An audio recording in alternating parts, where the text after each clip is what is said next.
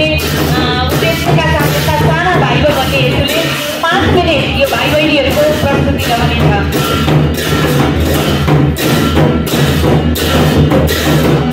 रहनेछ